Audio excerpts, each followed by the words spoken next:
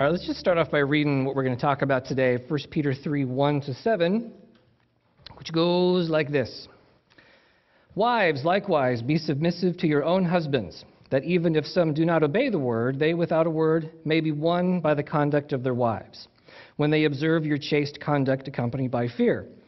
Do not let your adornment be merely outward, arranging the hair, wearing gold, or putting on fine apparel Rather, let it be hidden, be, excuse me, rather, let it be the hidden person of the heart, with the incorruptible beauty of a gentle and quiet spirit, which is very precious in the sight of God.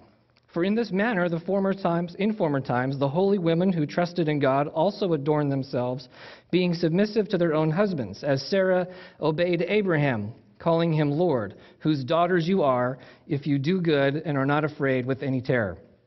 Husbands, likewise, Dwell with them with understanding, giving honor to the wife as to the weaker vessel, as, and as being heirs together of the grace of life, that your prayers may be hindered. Okay, we're going to skip all that. No, we're not going to skip all that. no, no, no. Uh, we're still in the context that is found back in chapter 2, verses 11 and 12. And I want to read that and we'll come back to these verses. Remember, chapter 2, verses 11 and 12 said this Beloved, I beg you, as sojourners and pilgrims, abstain from fleshly lusts which war against the soul, having your conduct honorable among the Gentiles or among the unbelievers, that when they speak against you as evildoers, they may, by your good works which they observe, glorify God in the day of visitation. What we're talking about is living as an example of Jesus among unbelievers. Remember, we said that last week. Let's try it again. Living as an example of Jesus among unbelievers. One more time.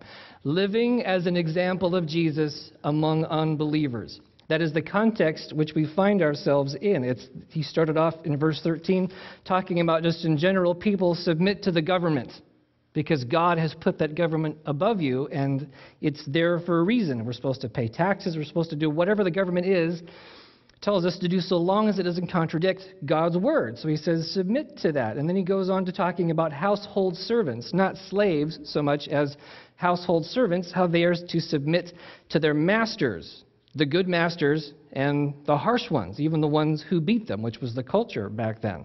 Um, and he says, this is what you're supposed to do, because after all, that's what Jesus did. When Jesus came, he submitted to the government to the point of death. He came as a servant and was beaten and was abused and was an example. He bore our sins. That's what his example showed us. And now he's going to step into the arena of marriage and, and marriage relationships. Now, this is actually going to be kind of a, a two parter. This is actually part two of last time.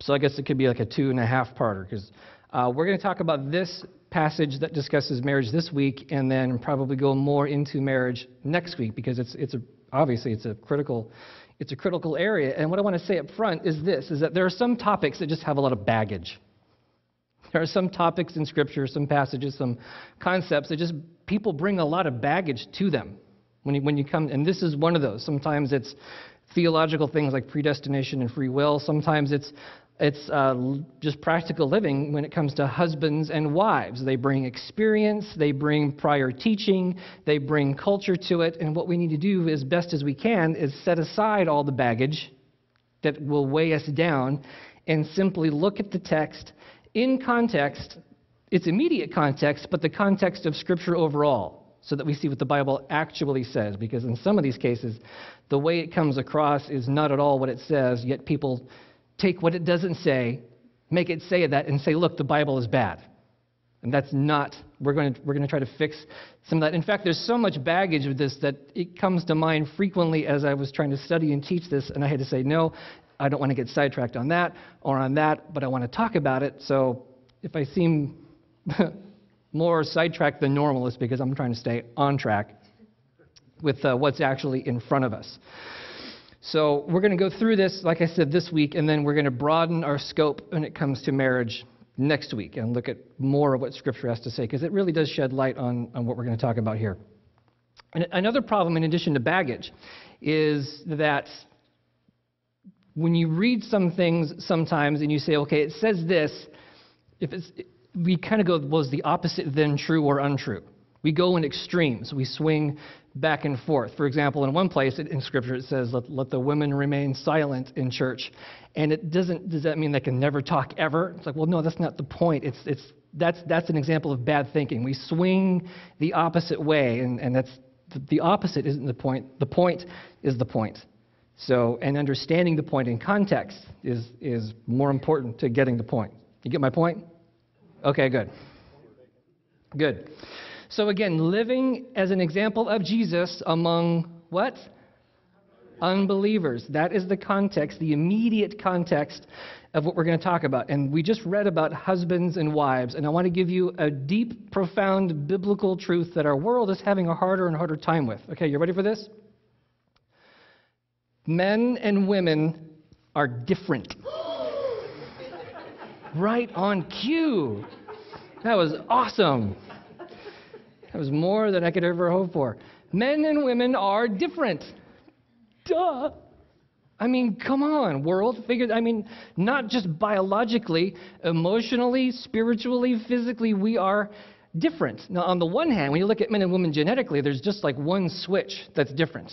Otherwise, we're very much the same, but there are significant differences across the board, and God has made it that way. That's God's plan. Uh, not only are we made different, God has given us different roles. Men and women in a marriage relationship have different roles. And again, the context is marriage. It's not just men in general and all women in general. I should probably try to filter myself and say husbands and wives have roles have parts to play. And in fact, you can think of it in terms of a play. They have different roles, but one role isn't not inherently better than the other. One is not inherently more or less valuable than the other. One is not inherently more or less significant than the other. They are just different. I mean, take the characters Romeo and Juliet. Different roles, different characters in a play, but which one's more important? he who says his wife is not here. it's on recording, it's on the internet, it's going to go everywhere. No. Which one's more important, really, aside from Justin? They're equally important, aren't they? If you take one out of the story, you have no story.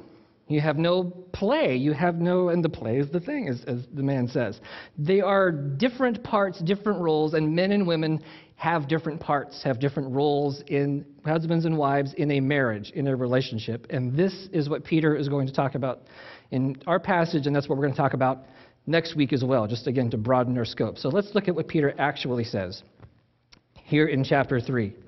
Wives. What are wives? Wives are the, the women half of the marriage, okay? And men and women, marriage, male and female. God made them in the beginning, male and female. Wives, husbands. So wives are the women half, married women. Wives, likewise, be submissive to your own husbands. So the likewise tells you what? It tells you in the same way as the thing we just talked about right? The thing right before this, which was uh, servants be submissive to your masters with all fear. And then he, he expanded on that. The idea is, is to continue to be in submission. Now, here's this heavy word. What does this submission, be submissive mean? And we'll sort of remind what we talked about last time. It's not, you know, shut up, lay down, go make me a sandwich submission. It's not animal pet submission. It's voluntary, willful cooperation. It's, we talked about how it was used as a military term when you arrange soldiers under a commander. They willfully, voluntarily step up and say, Yes, I'm going to surrender my own will to yours because that's how the organization works. Right? That's one example. But the idea is willfully. The idea is cooperation. The idea is I'm going to come along with you because this is our relationship and I will, you know, defer to your authority willfully, voluntarily. Is that coming across? Okay, so it's not submission like when someone twists your arm in an arm lock and makes you say uncle submission. This is voluntary. That's why when you get married, you, you, you do that willingly, I hope. At least in our culture today, you of course you watch, you know, what is it, Monster Brides or whatever the, the uh, no thank you. Bridezilla, and it's the same thing. Um, same idea. It's awful. You, no, I mean, run away, quick, dude. No, it's, it's you do this together. You do this willingly. You, you submit to the arrangement. Um, so, like wives, likewise, in this same way, like we just talked about, be submissive or continue to be submissive to your own husbands, not to somebody else's husband. You don't have to be submissive. It, the, the point is, it's not every man everywhere that this man woman relationship exists where all women are supposed to be submissive to all men. It's in the marriage relationship primarily. Wives submit to husbands, not women submit to all men all the time. Okay? That's why he says it this way. Wives, likewise, be submissive to your own husbands. He puts that in there on purpose. Submissive to your own husbands, that even if some do not obey the word, they without a word may be won by the conduct of their wives. So he says this even if they're unbelievers. And he, I think, he, again, because our context is living as an example of Jesus among unbelievers, okay? He's telling wives in general be submissive to your own husbands, even the ones who don't believe.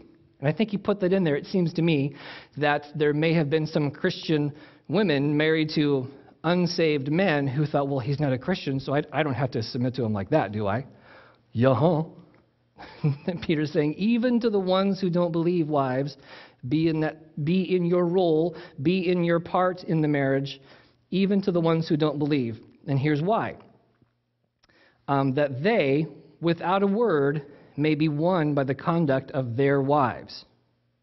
So your behavior as an unbelieving as a believing wife to the unbelieving husband, your behavior can be a model to that one can be an example to that one of what it means to be a Christian, what it means to be in relationship with God, what it means to be forgiven and walking in grace and having joy and peace despite whatever is happening around you, which is what we've been talking about leading up until now.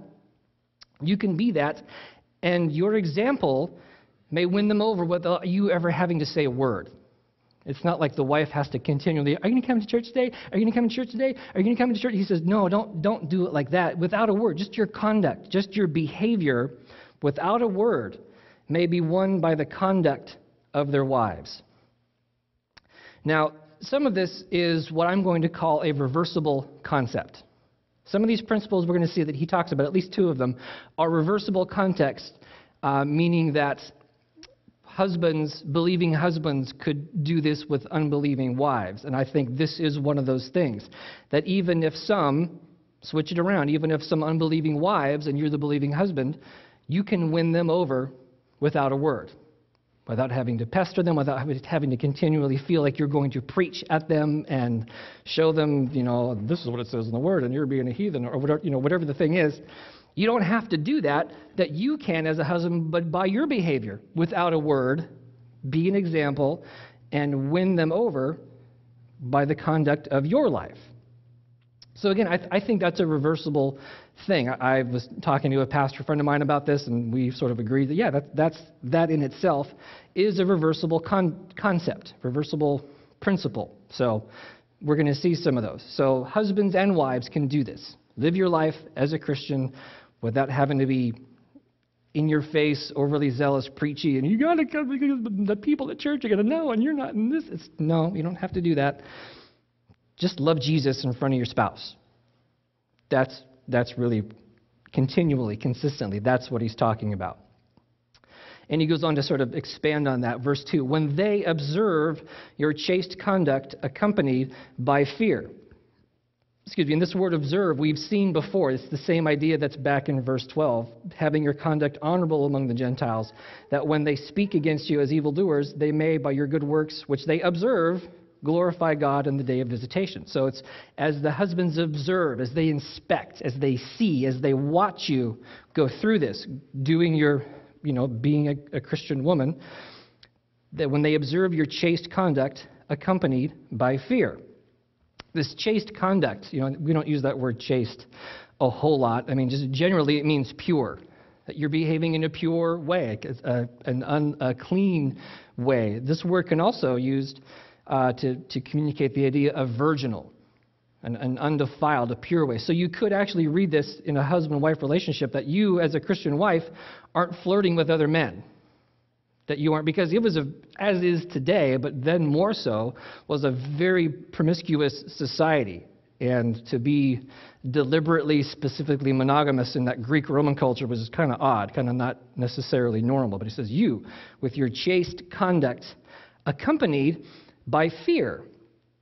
And it's not fear dread because again you, you can read this and twist it and you have to be submissive and you have to be afraid and it's bad or eh, woman do this. No this fear has the idea of respect, that you respect your husband, that you respect your spouse. Uh, a pastor friend of mine was talking about a counseling experience he had. Uh, a woman came to his office, and her husband was in the process of leaving her for another woman. And as they were talking, she was so, you know, obviously despondent and sad and, and was looking at this pastor. And, and she looked at him and said, You know, if you don't respect your husband, someone else will. And he was like, Yeah, that makes sense. If you don't respect your spouse, someone else is going to, whether it be at work or, or wherever that is, that, that, wherever the environment is, can exist where that can sort of foment and, and brew. If you don't love your spouse, someone else will. If you don't endear your spouse, someone else will. As, as we if over time, if life gets in the way and you have kids and you have money pressures and you start to become more split apart, and that that love and respect and endearment can can become lost, and it can surface in other places, and that's what causes these things to spring up and these problems to exist, and the and the things get even wider. But it's just such a simple way to put it that if you don't fill in the blank, love, respect, endear your spouse, someone else is going to. And our marriages ought to be not divided by life, but life ought to bring our marriages together. So he's trying to communicate to these Christian women this is what we need to do. Even to the unbelieving ones, be an example of Jesus to them. And he says, so he says, here's what you do. This is what you don't do. Verse 3 Do not let your adornment be merely outward, arranging the hair, wearing gold, putting on fine apparel. And the, the emphasis, if we could switch this around a little bit in English, it would be a little bit more like this. Um, if I can let it not be. The emphasis is the be. You see where it says, do not let your adornment be? Be is the command. You could say be not if you want to turn it into Yoda speak. You know, be not let your, con- your adornment, which sounds really odd. But that's the emphasis. Don't let this be. Be is the command, or it's, it's a negative command. Don't be. Don't let your, con- your adornment be merely outward, arranging the hair, wearing gold, putting on fine apparel. So the emphasis is the adornment, what is outward. And this is really kind of funny to me anyway. This word for adornment, it's the word cosmos. And usually when you see cosmos translated in the New Testament in Greek, of course, it means world, or it means the universe. So your adornment, your, your world. But it really conveys the idea of order out of chaos. um, your adornments, your hair, what you put on. Um, and it's in fact from this word that we get the word cosmetic order out of chaos. uh, or as J. Vernon McGee puts it, if the fence needs painting, paint it. I'm not, you know, I'm not telling you guys that's not what I'm. That's not my point. But uh, your your world your adornments, your outward uh, expression, your outward looks. He says, don't make that the focus. Um, in other words, in order to try to maintain your relationship with your husband, don't become a supermodel. Don't try to, you know, become the, the, the thin hotness that's going to keep your man with you because you're so attractive and you're so good looking. He says, don't let that, he's not saying don't ever put on makeup or fix your hair or, or wear gold. He's not saying, that's not the point, it's not ever. The point is, don't let that be the focus. You know, don't try to attract your man with unspiritual things because as you try to do that and he's finding what he needs other places, you're going to get to the point where you're going to think, Am I not enough for you? And you're going to keep trying harder, try to win, try to fight, but you're fighting the wrong battle. And this also is a reversible concept. You know, guys, if as you have an unbelieving wife and she's out there and there's this this unspoken or maybe spoken division, you know, don't try to be the man who, again, and maybe it is a physical thing. You, you try to be fit and trim and you try to dress nice and, you, and you're going to provide a lot of money and you're going to provide a lot of security and you're going to provide a lot of social status and you can't, you can't say, isn't this enough for you? Aren't I working hard enough for you to keep you in this relationship? You have to go and find these other guys and do this other stuff. Don't let that outward adornment, your cosmos, your world, be the thing that draws and keeps your spouse with you. Rather, he says in verse 4, let it be the hidden person of the heart with the incorruptible beauty of a gentle and quiet spirit, which is very precious in the sight of God. This hidden person of the heart. Uh, this, well, this whole verse reminds me of uh, 1 Samuel 16 when uh, Saul and is choosing David, and Saul shows up and, and tries to pick. There's all these brothers, and they're taller, and, and he goes to the, the biggest one, and God says, No. Next one, no. Next one, no. Finally gets down to scrawny David, and, and God says to, to Samuel, You know, Samuel, man looks on the outward appearance, but God looks on the heart. He, we look on the outside. We judge from the outside, and God says, No, it, it's in the heart first. That's where we need to go. People look on the outside. God looks on the inside. And if we're supposed if we're people of God, that's how we ought to be too, and that ought to be our attractional element. Not how flashy we are, not how good looking we might be, not how cool we can be, or we have all the hippest toys. None of that. He says, no. Rather, let it be the hidden person of the heart um, with an incorruptible beauty. Because all those things in verse 3 are corruptible. He's making a contrast. The things in verse 3, the, the, trying to get all gussied up and pretty and handsome and whatever you want to call it, those they're corruptible. It's the incorruptible beauty of that inner person, uh, again, as opposed to verse 3. And, he, and then he says, a gentle and quiet spirit now, what is he not saying? Does he, he, does he mean does he mean that I, as a woman, have to be weak and broken and submissive like that? No, that's not what he. Because again, that's one of those opposites. You have to be quiet and you have to be gentle and you have to be sit quietly and only speak when spoken to and don't make eye contact with people. No, it's not what we're talking about. It means. Let me tell you what it doesn't mean. It doesn't mean someone who is prone to anger. Some of the words in the dictionary for this thing, the opposites. It's, it's, you can really get an idea of what a word doesn't mean by learning its opposite. This word does not mean, it means someone who's not prone to anger, or savage, or fierce, or difficult. Uh, I, I don't know about you, but sometimes when you flip channels, you see people, and, and, particularly women in some cases, who are these things. And that's not me trying to be sexist, that's just observing human nature, okay? That's in many cases when you watch people anger, savage, fierce, difficult. All right? What he's trying to say is people who are generally calm, generally tranquil. This is that quiet and gentle spirit, someone who is calm, tranquil, generally in control. Not out of control, freaking out all the time. Okay? That's that's what he's that's what he's talking about. And then he goes on to say even that that is very precious in God's sight. So you could ask yourself the question who are you trying to impress? Are you trying to impress your spouse with the way you look on the outside, or are you trying to impress God, which will then hopefully you know, reflect and attract your spouse? Are you trying to have, what are you trying to dress up, in other words? Who are you trying to impress? The world, your spouse, or God?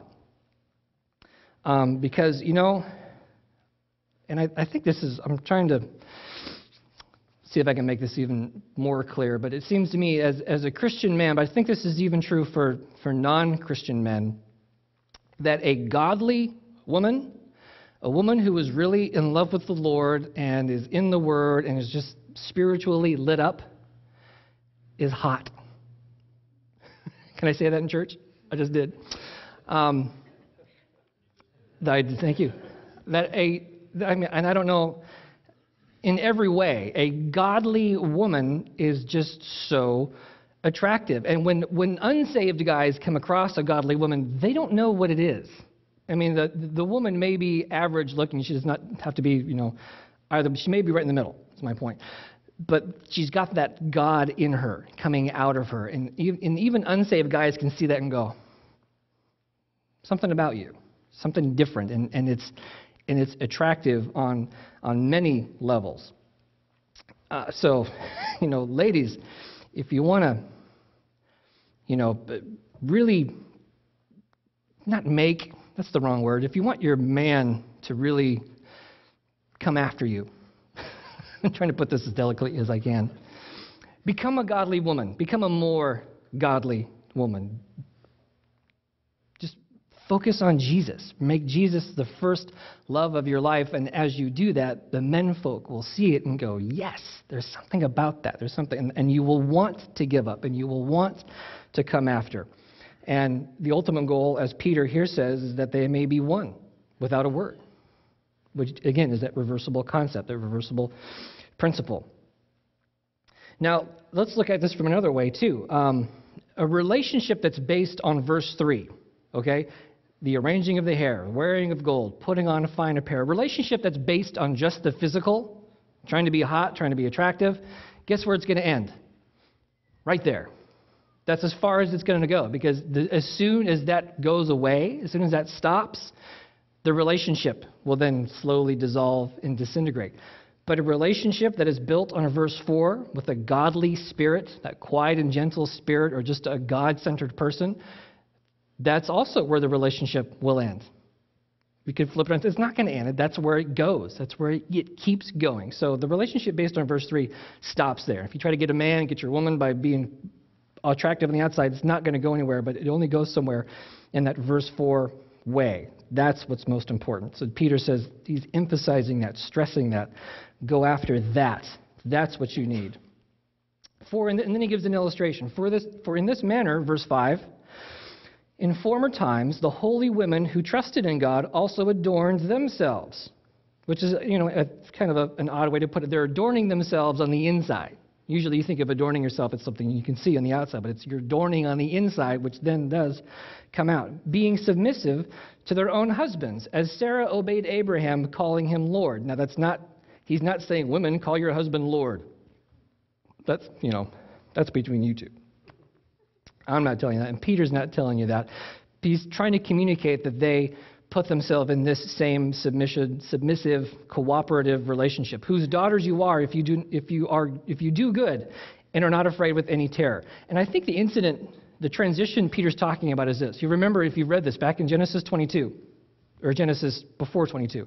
Um, God has promised Abraham and Sarah offspring. They're pushing 100 and there's no offspring.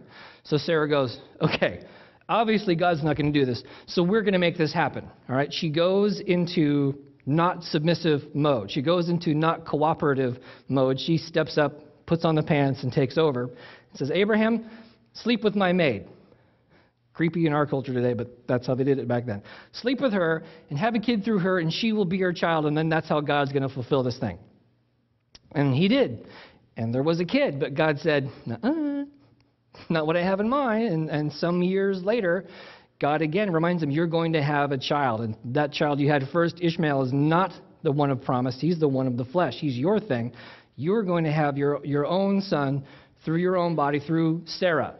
And Sarah eventually became pregnant, but she went through that transition of going from, I'm going to make this happen to, okay, God, fine. I'm going to submit. I'm going to cooperate. And at, you know, what was it, 90 years old, something, had a baby. Abraham being 100 years old, way past when it should have happened, so that's why it's a miracle. I think that's the submission that, that uh, the moment, that phase that Peter's talking about. She finally said, okay, I'm going to cooperate. I'm not going to try to take over. I'm not going to try to be in charge because that's the role, the part that God has given my husband. And then God worked, right? Then God provided the son of promise, through whom came, he was Isaac, and then brain cramp, uh, Abraham, Isaac, and Jacob. I was trying to think of those three. Who came Jacob, and then the 12 sons, and then Israel, and then ultimately Jesus, right? It was because Sarah finally cooperated, understood her part, understood her role, understood her husband's role, because Abraham wasn't working in his role with Ishmael, was he? He, it was flipped. He became the one who submitted and cooperated. And that's not God's arrangement. That's not God's plan. And again, it's not better than, it's not more valuable than, it's not inherent worth. It is simply roles, it is simply parts that we are to play in our marriages. So, verse 6 again Sarah obeyed Abraham, calling him Lord, whose daughters you are, if you do good and are not afraid with any terror. Because the only person we're supposed to be afraid of is God. We're supposed to respect our husbands, but fear God. So he's, he spends six verses on wives, which is funny, and then one verse on husbands. Don't read too much into that. It's not he's saying, guys, you're doing fine. Ladies, we need a lot of work here. We need, we need some help. That's no. That's not, don't read too much into that. He, but he says in verse 7 Husbands, likewise, and again, following the pattern that of what just came before, likewise, dwell with or live with, in that marriage, cohabitation, dwell with them with understanding, giving honor to the wife as to the weaker vessel, and as being heirs together with the grace of life, that your prayers may not be hindered. Okay, so again, this is one that you could read and say, see, the Bible is degrading women. He's telling husbands you got to live with understanding because women are stupid. And you have to live with them with because they're weaker and you're stronger. You're a man and women are wimpy. No, no, no, no, no, no. Again, what is the context of this passage? Living as an example of Jesus among unbelievers. And when you keep that in mind, this makes a whole lot more sense. Husbands likewise dwell with them with understanding. Why with understanding? Because you were once unbelievers too. And if you're living with a spouse who is an unbeliever, it's going to take some understanding, some remembering, some patience because their behavior is not going to be the same as yours. Their priorities are not going to be the same as yours. Their values, their everything is not going to be the same. So you have to remember, you have to live with understanding, knowledge that they're still there. They're still back there in the world, and you're walking with the Lord, okay? And it's, it can be very easy, again, in either way, when one spouse is not to go, oh, why don't you just get it? No, you have to be understanding. You have to remember. You have to have that patience. And again, why does he call the wives weaker in this context? Because they're unbelievers. That's the weakness.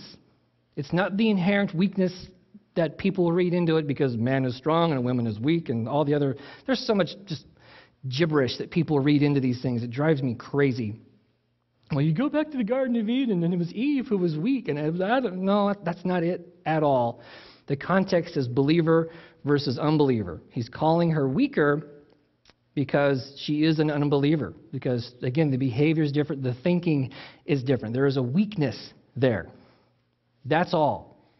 That's it. Husbands likewise dwell with them.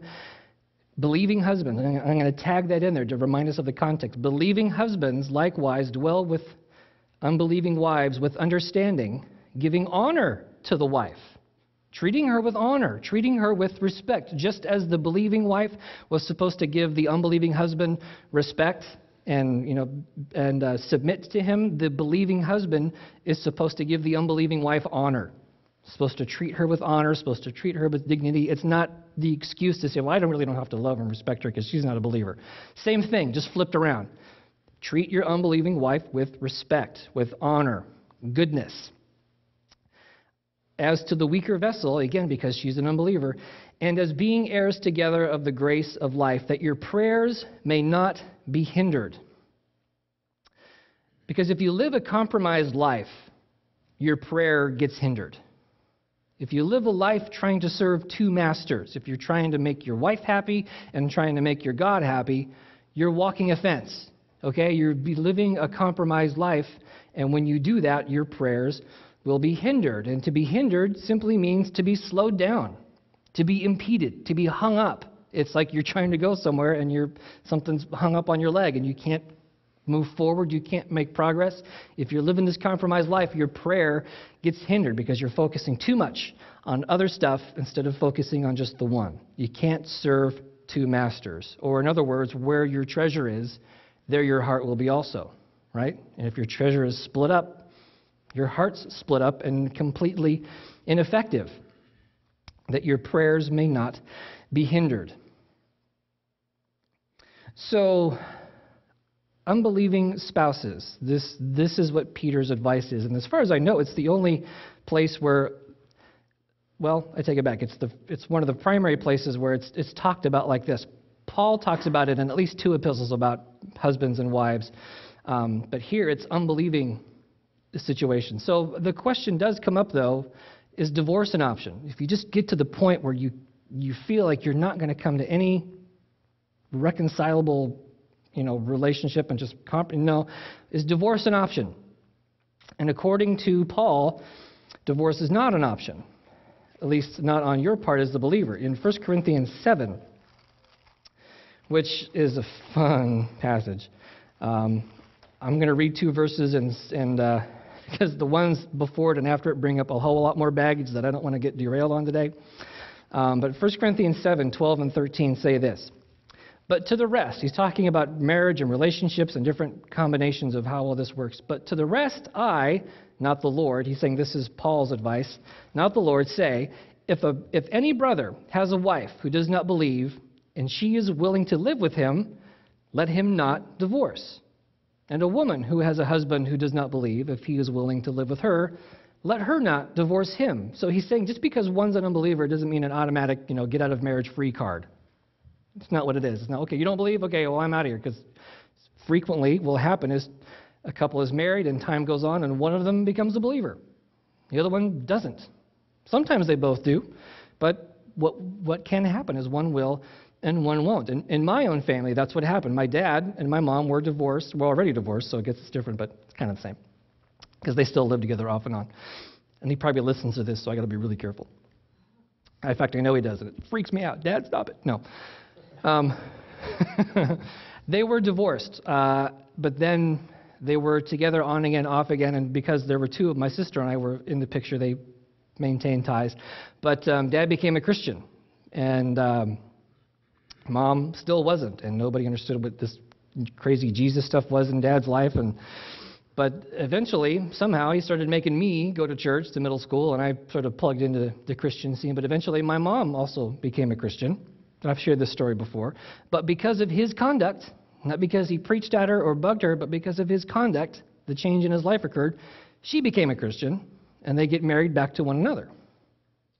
Sometimes it happens. Same thing happened in Jess's family, almost the same kind of story. Parents divorced, get saved independently, come back together, get married. So it happens.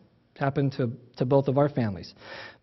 But it's not a free get out of jail of marriage free card when, when you know this one jail. Sorry. Freudian slip there. Is it hot in here? monopoly brain. It's not, a, it's not the first option, but he does, in, in another place, he does say, but if they leave you, there's not much you can do about that. If the other spouse, the unbelieving spouse, leaves you, no, it's not. It's it's a tough situation, and there are all kinds of variables that could be talked about. But if they are bent on divorce and leaving you, he says to let them go. You, and, and who knows? It's not even divorce is not the end. It's not too late, as I just talked about in my own family. But um, don't seek the divorce. But if the divorce comes from the other side, you know, just he says, let them go. It's and uh, hopefully God will work on them. So let's kind of wrap up this part today. The ability to even do this, to be in a relationship where you're a believer and your spouse is not, comes from Jesus. Only place it can come from. The only place it can And I know people in our own fellowship are going through this with unbelieving spouses. And had I time, I could go into detail on a story about a couple named uh, Raul and Sharon Ries. Raul was a Vietnam vet, post traumatic stress disorder, completely whacked out, was going, had come home to kill his family. His wife was a strong Christian, and she had gone to the mother's house to get away because he was abusive physically, emotionally, every way to get. He came back. He was waiting in the living room with a gun to kill them. But Chuck Smith comes on TV and shares the love of God, and he becomes a Christian. And wife comes home, and she, he says, "I've changed. I'm different." And the marriage is built back together. But it was only because of Jesus that that happened. And even in these things, and I'm not trying to shoehorn Jesus into every passage we find, but guess what? Jesus is an example of both of these which is really very cool. Jesus submitted himself. He didn't do anything to make himself attractive, did he? In fact, that's what the world was looking for. The, the Jews were looking for this macho king to come and kick Rome out, to be attractive on the horse, right? And then and kick out all the bad guys. No, he came in as a carpenter, as a relative in that society, nobody from a backwater, nowhere town. He didn't do anything to make himself attractive, but instead did what it took to draw us close to God, like the unbelieving spouse does what he or she is supposed to do to reflect, to draw the, the unbelieving spouse to the Lord. So that's how he submitted himself. At the same time, he lived with us as unbelievers when we were all unbelievers. Remember Romans 5 8 that God demonstrates his love for us in that while we were yet sinners, while we were still unbelievers, Christ died for us. He, taking the husband side of our talk today, lived with us with understanding, waiting, knowing where we were, where we come from, where we've been, um, waited with understanding because we were the weaker vessel in that relationship when we were unbelievers. Waited patiently. And how, did he, how does he know what we went through? Because he came here. Again, God put on a man suit, went through life, birth, growing up, living, death and resurrection, which again all of us will go through someday, he understands. I mean, Hebrews says that we have a high priest who understands what we've gone through because he went through it. He went through it all. He understands, he knows we're the weaker one, and he treats us still with honor, waiting for us to come back around to him. His giving of himself was in itself a demonstration of God's love for us. He went through everything. But the strength to do this only comes through Jesus. So, whatever the state of your marriage, married to an unbeliever, married to another believer, whatever position you happen to find yourself in, whatever the state of your life is, the first best thing that you can do is have a right relationship with Jesus. The first best thing you can do if your marriage is doing eh, or if it's in the toilet, the first best thing you can do to fix it is not harass and bug and throw books at and say, let's go to counseling repeatedly and nag. Either way, the first best thing you can do is for you just to go to Jesus, to go on your knees and to pray and say, God, change me, make me into the person you want me to be, and use me to bring them to you. Have a right relationship with Jesus.